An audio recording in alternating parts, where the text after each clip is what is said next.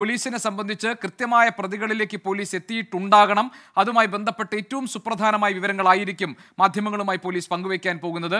കേരളത്തെ അക്ഷരാർത്ഥത്തിൽ നടുക്കിയതാണ് ആറു വയസ്സുകാരിയെ സ്കൂളിൽ ട്യൂഷൻ ക്ലാസ്സിലേക്ക് പോകും വഴി സഹോദരനുമായി പോകും വഴി തട്ടിക്കൊണ്ടുപോയ കേസ്. കേരളം ഒന്നാകെ ഉറക്കം വെടിഞ്ഞ് ഒരു രാത്രി മുഴുവൻ ആ കുഞ്ഞിന് വേണ്ടിയുള്ള തിരച്ചിലിന് കാത്തിരുന്നതാണ്. ഒടുവിൽ ആ സംഘം തന്നെ കുട്ടിയെ ഉപേക്ഷിച്ചപ്പോഴാണ് കുഞ്ഞിനെ നമുക്ക് തിരികെ കിട്ടിയത്. അതിന് പിന്നിൽ പ്രവർത്തിച്ചത് ആരൊക്കെയാണ്? അവരുടെ ഉദ്ദേശം എന്തായിരുന്നു? എന്തായിരുന്നു? എത്ര വലിയൊരു ആസൂത്രണം ഇതിന് പിന്നിൽ നടന്നിട്ടുണ്ട്? ഇത് മറ്റേതെങ്കിലും റാക്കറ്റുമായി ബന്ധപ്പെടുത്തി വേണമോ ഇതിനെ കാണാൻ? എന്ന് തുടങ്ങിയിട്ടുള്ള കേരളം ചോദിച്ചുകൊണ്ട് അസ്വസ്ഥതയോടുകൂടി ചോദിച്ചുകൊണ്ടിരുന്ന ഒരുപിടി ചോദ്യങ്ങളുണ്ട്. ആ ചോദ്യങ്ങൾക്കുള്ള വ്യക്തമായ മറുപടി ഒരുപക്ഷെ ഇന്ന് അല്പസമയത്തിനകം അതായത് കൃത്യമായി പറഞ്ഞാൽ ഒൻപതരയ്ക്ക് കൊട്ടാരക്കര റൂറൽ എസ് പി ഓഫീസിൽ വെച്ച് A D G P M R Ajith Kumar മാധ്യമങ്ങളെ കണ്ട് വിശദീകരിക്കുമ്പോൾ ആ അവ്യക്തതകൾ മാറുമെന്ന് നമുക്ക് പ്രതീക്ഷിക്കാം. ഷഫീദ് നമ്മൾ വീണ്ടും ഒരിക്കൽ കൂടി ഇതിന്റെ കോൺസ്പിറസിയെക്കുറിച്ച് ഷഫീദ് പറഞ്ഞു ഇതിന്റെ മോട്ടീവ് ഇത് എന്തിനു വേണ്ടിയാണ് ഈ തട്ടിക്കൊണ്ടുപോകൽ നടത്തിയത് അത് നമുക്കറിയണം. ഇതിനകത്തൊരു ക്രിമിനൽ കോൺസ്പിറസി ഒരു ഒരു ഒരു ക്രിമിനൽ ഗൂഢാലോചന ഇതിന് പിന്നിൽ നടന്നിട്ടുണ്ട്. എത്ര വലിയ തയ്യാറെടുപ്പ് നടത്തിയിട്ടുണ്ട് അങ്ങനെ. കാരണം ഒരു തരത്തിലുമുള്ള സൂചനകളും നൽകാതെ. അതായത് പോലീസിന് ട്രേസ് ചെയ്യാൻ കഴിയാത്ത തരത്തിൽ വളരെ കൃത്യമായി എക്സിക്യൂട്ട് ചെയ്യപ്പെട്ടതാണ് ഈ കിഡ്നാപ്പ് എന്ന് പറയുന്നത്. അതായത് വാഹനം കണ്ടെത്താൻ കഴിഞ്ഞില്ല തുടക്കത്തിൽ ഫോൺ പല പല ഫോണുകളിൽ നിന്ന് വിളിച്ചാണ് സന്ദേശങ്ങൾ കൈമാറിയത്. അഞ്ച് ലക്ഷം രൂപ മോചനദ്രവ്യം ആവശ്യപ്പെട്ട സാഹചര്യമുണ്ടായി. പോലീസ് ഒരു ദിവസം മുഴുവൻ തിരച്ചിൽ നടത്തിയിട്ടും പ്രതികളെ കണ്ടെത്താൻ കഴിയാതെ വന്ന സാഹചര്യമുണ്ടായി. അപ്പോൾ കൃത്യമായ ആസൂത്രിതമായ ഒരു ഗൂഢാലോചന ആ പ്രദേശത്തെക്കുറിച്ചുള്ള കൃത്യമായ അറിവ് കൃത്യമായ ഒരു പ്ലാനിങ് ഇതിന് പിന്നിൽ ഉണ്ടായിട്ടുണ്ടാകണം. അങ്ങനെയല്ലേ പോലീസ് മനസ്സിലാക്കുന്നത് ഷഫീദ്?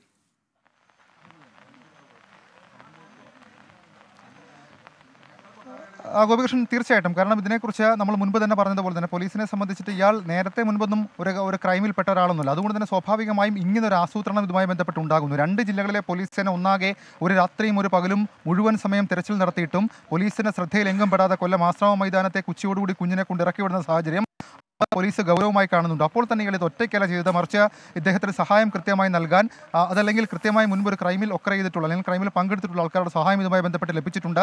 അത് സി സി ടി വി ദൃശ്യങ്ങളുടെ കണ്ണിൽ നിന്ന് കണ്ണിൽപ്പെടാതെ കണ്ണിൽ പോകുന്നതിൽ നിന്ന് അതേപോലെ തന്നെ ഈ കൃത്യത്തിന് പോകുമ്പോൾ ഒരു തരത്തിലും മൊബൈൽ ഫോണുകൾ ഉപയോഗിച്ചിട്ടില്ല. അത് ടവർ ഡംപിങ്ങിൽ പോലും കണ്ടുപിടിക്കാൻ കഴിയാത്തത്ര തരത്തിലേക്ക് ആസൂത്രണം ചെയ്തുകൊണ്ട് സ്വാഭാവികമായി മൊബൈൽ ഒഴിവാക്കുക. മൂന്നാമത്തെ ഏറ്റവും പ്രധാനപ്പെട്ട കാര്യം അതിനുശേഷം ഈ കുട്ടിയുമായി കടക്കാനുള്ള അവരുടെ അവർ അവർ കാണിച്ച ആസൂത്രണം.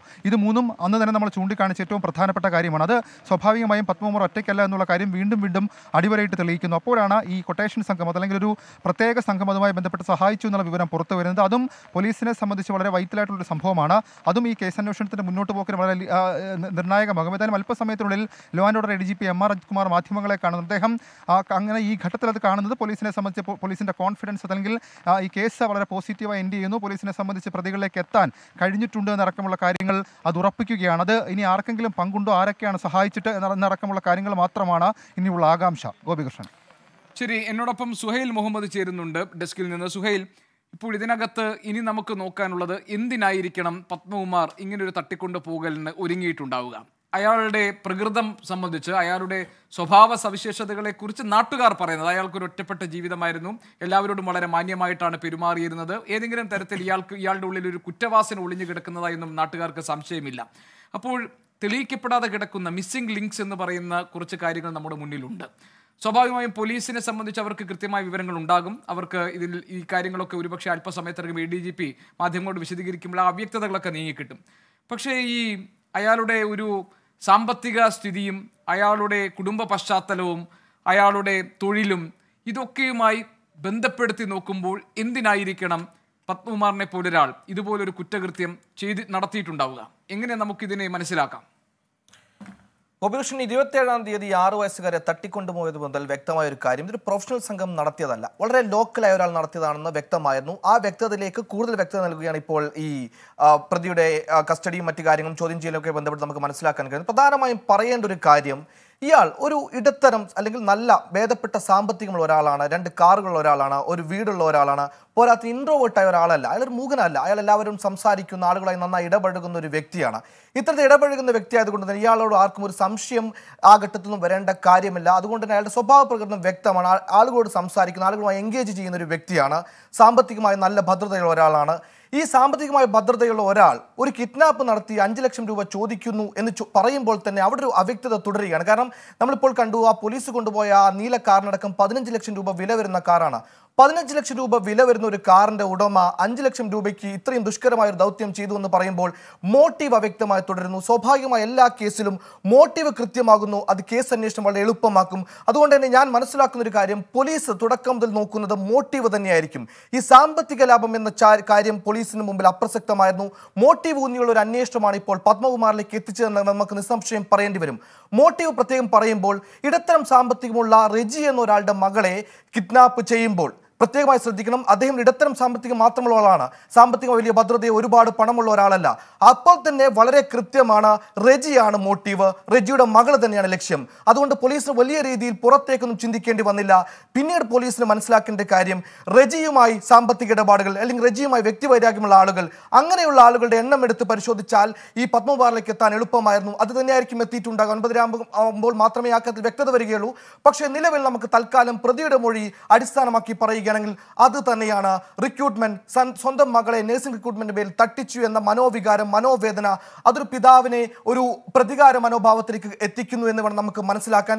കാരണം പ്രത്യേകമായി പറയേണ്ട കാര്യം ഈ പത്മകുമാർ എന്നയാൾ ഒരു സാധാരണക്കാരനാണ്. ക്യാബിൾ ക്യാബിൾ വർക്കുണ്ട് ബേക്കറി ഉണ്ട് ഫാം ഉണ്ട് ഇവിടെയൊക്കെ മനുഷ്യരെ ഇന്ററാക്ട് ചെയ്യേണ്ട ഒരു ഇടമുണ്ട്. ആ ഇന്ററാക്ട് ചെയ്യുന്ന ഒരു മനുഷ്യൻ ഒരു കുട്ടിയെ കിഡ്നാപ്പ് ചെയ്യുന്ന ക്രൂരതയിലേക്ക് എത്തണമെങ്കിൽ അതിന് അതിന് ചേതോ വികാരം അത് പക തന്നെയാണ്. ആ പകയാണ് ഇതിലേക്ക് കാര്യങ്ങൾ എത്തിച്ചതെന്ന് വേണം മനസ്സിലാക്കാൻ. പ്രത്യേകിച്ച് ഈ ഘട്ടത്തിൽ അടക്കം ഈ പത്മമാർ പറയാൻ ശ്രമിക്കുന്ന ഒരു കാര്യമുണ്ട്. ഭാര്യയ്ക്കും മകൾക്കും ബന്ധമില്ല എന്ന് പത്മമാർ ആവർത്തിക്കുമ്പോൾ ബന്ധമുണ്ടോ ഇല്ല എന്ന കാര്യങ്ങൾ പോലീസ് വ്യക്തമാക്കട്ടെ. ഇയാൾ നല്ലൊരു അല്ല നമ്മൾ സംശയിക്കണം സുഹൈൽ. കാരണം സ്വാഭാവികമായിട്ടും പത്മമാർ ഇനി ശ്രമിക്കുക ഭാര്യയും മകളെയും സംരക്ഷിക്കാനായിരിക്കും അല്ലേ? അതെ സ്വാഭാവികമായി സംരക്ഷിക്കാൻ തന്നെ. അതാണ് ഞാൻ പറഞ്ഞു ഒരു കുടുംബ ഒരു ഫാമിലി മാനാണ് കുടുംബത്തോട് വലിയ സ്നേഹമുള്ള ആളാണ്. അത് തന്നെയായിരിക്കാം ചിലപ്പോൾ ഈ കൃത്യത്തിനും അയാളെ പ്രേരി പ്രേരിപ്പിച്ചിട്ടുണ്ടാകും മകളെ പറ്റിച്ചു. അഞ്ച് ലക്ഷം രൂപ അഞ്ച് ലക്ഷം രൂപ എന്നതിലപ്പുറം ഇത്രയും മാന്യമായി ജീവിക്കുന്ന അയാളെ പോലെ കാലിബ്രായ ഒരു വ്യക്തിയെ ഒരാൾ പറ്റിച്ചു എന്ന മനോവേദന ആയിരിക്കണം പണത്തേക്കാൾ അയാളെ അലട്ടിയിരിക്കുന്നത്. ഈ പത്മകുമാറിനെ പറ്റി നേരത്തെ ഈ അരുൺകുമാറോട് പ്രേക്ഷകൻ പറഞ്ഞൊരു കാര്യമുണ്ട്. അയാൾ എഞ്ചിനീയറിംഗ് ബിരുദധാരിയാണ്. എഞ്ചിനീയറിംഗ് ബിരുദധാരി എന്ന് പറഞ്ഞാൽ ഒരു ഇരുപത്തിരണ്ട് അമ്പത്തിമൂന്ന് വയസ്സുള്ള പത്മകുമാർ ഇരുപത്തിമൂന്ന് വർഷം മുമ്പായിരിക്കും എഞ്ചിനീയറിംഗ് പൂർത്തീകരിച്ചിട്ടുണ്ട്. ആ കാലത്ത് അത്രയും ടാലന്റോട് എഞ്ചിനീയറിംഗ് പൂർത്തീകരിച്ച ഈ ഒരു മിടുക്കനായ ഒരാളെ പറ്റിച്ചു എന്ന മനോവേദന അതിലപ്പുറം ഈ എഞ്ചിനീയറിംഗ് ബിരുദധാരി എന്ന അദ്ദേഹത്തിന്റെ ആ ഒരു ലേബൽ തന്നെയായിരിക്കും ആസൂത്രണ മികവിന് കാരണമായിരിക്കും എന്ന് ഈ ഘട്ടത്തിൽ മനസ്സിലാക്കണം. കാരണം മൊബൈൽ ഡംപിങ്ങിന്റെ സാധ്യതകൾ മൊബൈൽ ഉപയോഗിച്ച് ഏതൊക്കെ തരത്തിൽ പിടിക്കുമെന്ന കാര്യങ്ങൾ ഇതൊക്കെ ഒരു എഞ്ചിനീയറിംഗ് ബിരുദധാരിക്ക് വളരെ എളുപ്പത്തിൽ മനസ്സിലാക്കാൻ കഴിയും. അതുകൊണ്ട് ആസൂത്രണ മികവ് അത് പത്മകുമാറിന്റെ തന്നെ പറയേണ്ടി വരും. ഇപ്പോൾ പോലീസ് പറഞ്ഞ മറ്റു അനുമാനം കൊട്ടേഷൻ സംഘത്തിന് സഹായം ലഭിച്ചു എന്ന കാര്യമാണ്. ഈ കാര്യത്തിൽ നമ്മൾ ഒരു കൃത്യം നടപ്പിലാക്കുമ്പോൾ പ്രധാനമായി വേണ്ട ഒന്ന് മെന്റൽ പവർ വേണം. രണ്ടാമത് ഫോഴ്സ് വേണം ഹ്യൂമൻ ഫോഴ്സ് വേണം. ചിലപ്പോൾ ഇത്തരത്തിൽ സാധാരണക്കാരനായ വലിയ ശരീരപ്രകൃതമൊന്നുമില്ലാത്ത ഒരാൾ ഒരു ചെറിയ കുട്ടിയെ തട്ടിക്കൊണ്ടു പോകുമ്പോൾ മെന്റൽ കാലിബർ മെന്റൽ കപ്പാസിറ്റി വേണം. ഈ മെന്റൽ കപ്പാസിറ്റി ഇല്ലാത്തത് കൊണ്ട് മറ്റൊരു സംഘത്തെ കൊട്ടേഷൻ ഏൽപ്പിച്ചതാണോ എന്ന കാര്യവും ഈ ഘട്ടത്തിൽ സംശയിക്കണം. പക്ഷേ ആസൂത്രണ മികവ് അത് പുറത്തുനിന്ന് വന്നു തൽക്കാലം നമുക്ക് സംശയിക്കാൻ